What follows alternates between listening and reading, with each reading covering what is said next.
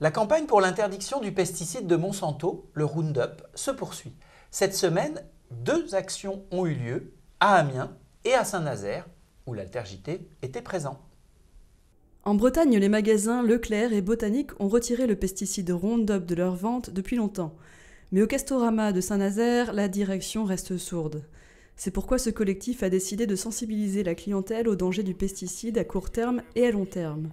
C'est un produit nocif pour les organismes humains et ceux des animaux, notamment les abeilles.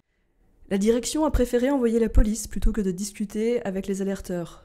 Ces derniers ont remis en rayon les Roundup étiquetés d'un autocollant préventif et n'hésiteront pas à renouveler des actions pour demander le retrait des ventes du Roundup.